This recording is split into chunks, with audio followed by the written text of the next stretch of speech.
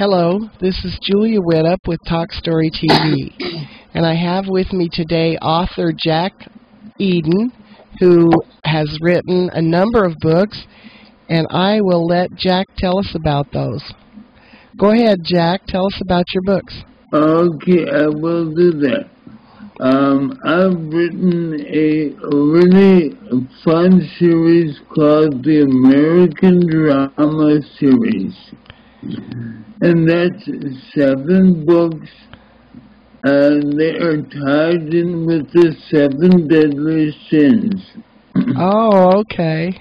Okay, and the the hero sort of goes through each of the deadly sins and has something to do with learning about greed or envy or something. And all started in the womb. the hero is actually a fetus. Oh my. Okay. And in the first book, he is a super twin, which means that in the womb, he's in there with another guy. Uh huh. And during the first book, envy is explored between the two twins. Okay. And then Marcus is his name, grows up, and now he's 29 in the second book. And he's in a corporation and ends up going to Texas, where he uncovers a decade-old murder. Okay. So it's a uh, after he is possessed by the spirit of the dead man, he basically solves the murder and ends up in California as a photographer. That's book three. okay. Which now which wait before we go any further, could you list the seven deadly sins? Oh um, uh, God. yeah, uh, I'll try. Okay. Um, the first one is envy, Okay. and the second one is greed. Okay. The third one is commonly called sloth, but it's actually originally called sadness or apathy. Okay. Sadness or apathy or Right. I always thought of sloth as laziness. Mm, Yeah, that's why it's really a bad word. Okay. It used to be called sadness, and then and then apathy, and then after that is pride, and, then after pride is wrath. Wrath. Wrath, like hate or envy, or uh, wrath is anger or hate. Okay. And then, um, did I forget one? Is greed one? Greed is the second one, yes. Oh, okay. one, yeah. That's the one I'm serializing uh, on the web right now, worldwide, Oh, and where is that happening? all over the world. Do you have it on a blog? Uh, it's on my website, and you can get a PDF sent from me on every chapter that I write. And what is the address of your website? Uh, www.jackeadon, J-A-C-K-E-A-D-O-N dot com. Okay. And the link that uh, people should go to is the drama link. Okay. So go to jackeadon.com Right. and go to the drama link, and there will be. before the drama, I was the writing I was a rock star. Okay. That's all I think about the rock star. okay.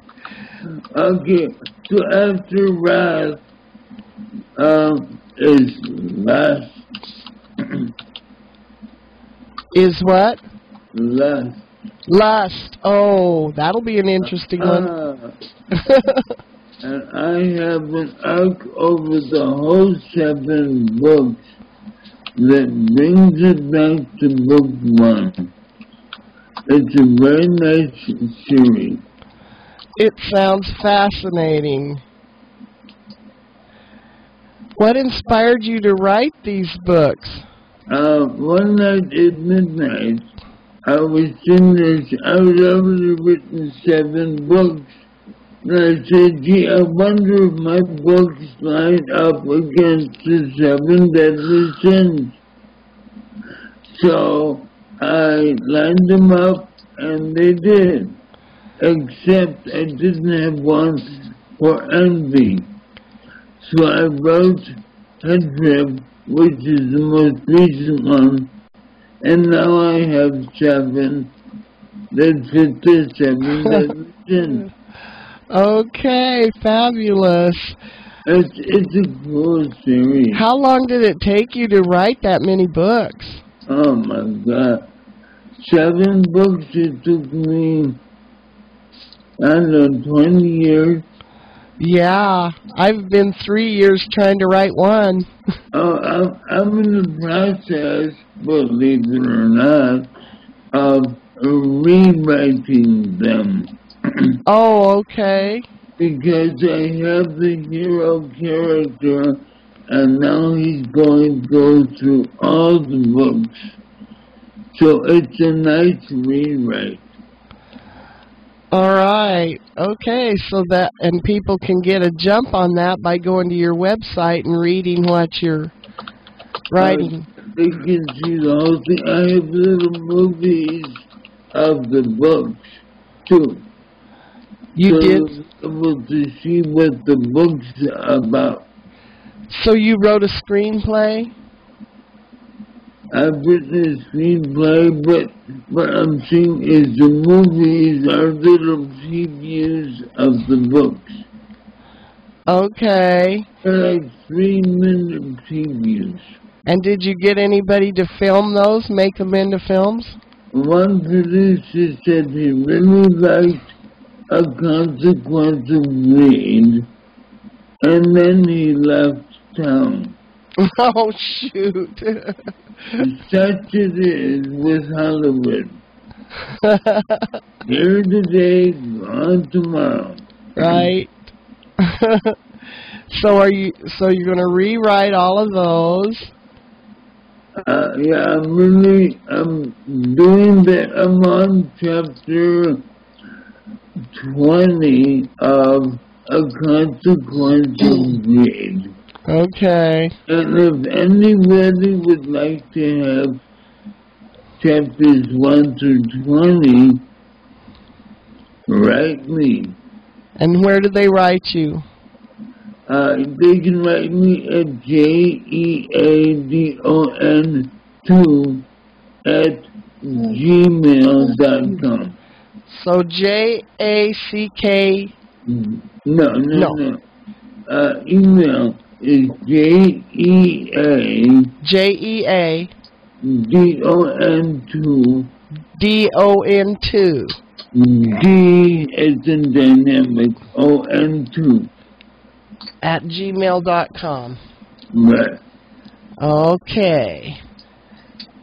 Oh, I'm gonna go take a oops. I'm gonna write that down.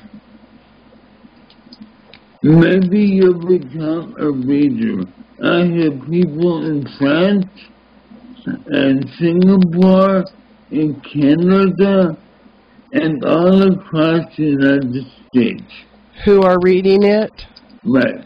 How nice. Are you on Google Plus? I'm on Amazon and Barnes and Noble, but my website is really where to go. Okay. I'm just going to run over there real quick and take a look at your website. So, It's a fun website. what else are you doing these days, Jack? I just moved my main house to the desert. Phil- And it's a, it's a beautiful house. And it is very inspiring to do writing there. I have a little courtyard and a fountain and a pool and a spa palm trees. It's just really nice. Right, great. I see by your uh, website you have a. Sounds like you have quite a story to tell about brain cancer too. I wasn't brain cancer, it was a brain tumor. A brain tumor. Oh, there's a difference, huh? It was a benign tumor that I got um, when I was born, but I didn't know about it until I was 27. Oh my. And then I saw double one day. And I went to the doctor and he took in a CAT scan. He said, well, you have a brain tumor. And I said, oh my God. Yeah. Could they Uh, take it out? I was, well, no, it's a, it's a recurrent benign brain tumor, which means they can take it out and then it grows back. Oh. So I've had five brain surgeries, And then it always grows back. right? Except the last one. The last brain surgery, I had a world famous neurosurgeon take the whole thing out. So that's the good news. But like Dickens said, it was the best of times, it was the worst of times. And what this guy did was he took out the whole tumor, but he also took away my swallowing. Uh-oh. So how do you eat? The, uh, feeding tube. Oh no. So you can't taste anything. Well, actually, here's what I do. I put chocolate in my mouth so I have some taste. Oh, that's nice because gee. And I am a real pig with the chocolate, but you know, slowly the swallowing is coming back. So I'm really hopeful that it will within a year. So you might end up being able to swallow normally eventually. Uh, yeah. Yeah, the doctor said it can take up to six years after an operation to regain your swallow. And for me, it's been two. Okay. So I have some time left. So and you've gotten a little bit back, so that sounds good. I've actually gotten a lot back because a year ago, you wouldn't have been able to understand me at all. Oh, so you're getting All, all my facial nerves were paralyzed, and so I couldn't really talk. And I, that it just giving I bet you hated that. I couldn't talk on the phone. People would just hang up. Yeah. And- Well, and I've done three to six hours a day of exercising facial muscles, to build them back up. And slowly they come back. Good thing you're a writer. Oh man. Well, actually, I'm gonna start doing some public speaking too. You are. Uh, yes, I am.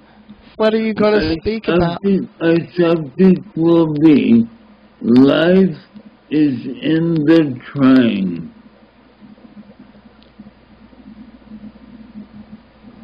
Life is. I, I, I mean it literally because if you're trying, you're really experiencing life. If you're just coasting, it's like that movie Groundhog Day. It's one day lived over and over again. But if you live in the present, It's all new. and every day is trying something new, it really sort of keeps you going. Yeah. Yeah. And I've noticed that if you can stay in the present, you will not get depressed. Depression is a, is caused from looking back at the past or looking forward. Future, Yes. Have you read Tolle? Who? Tolle. Yes. Yes. My favorite author. Oh, really? Yes. I read, I read him all the time. Meditative read. I just pick it up and start reading. Yes, I keep his books beside my bed and I read them before I go to sleep at night to Oh, isn't that something? Well, small world. yes. Wow. Well, it was nice meeting you. Likewise, And thanks for being on our show. sure enough. And I want to encourage everybody to go to Jack's website at jackeadon.com and uh, check out his books. If And you want to go to the book site, go to the drama link. okay, and go to the drama link. Right. Okay, and I'll add you to one of my Gmail or my Google Plus circles. And please do. Okay, thank you, Jack. Okay. Oh, listen, how do I get a copy of the interview? I'll send it to you. Okay.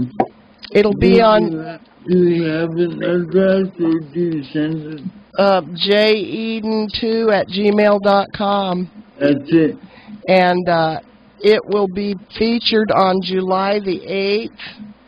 Oh, that's two days after my birthday. Oh, great. Okay, so it'll be t- featured on July the 8th for a week at talkstorytv.com. Oh, that's great. Long story talkstorytv.com. On TV. Okay. Bravo? For a week.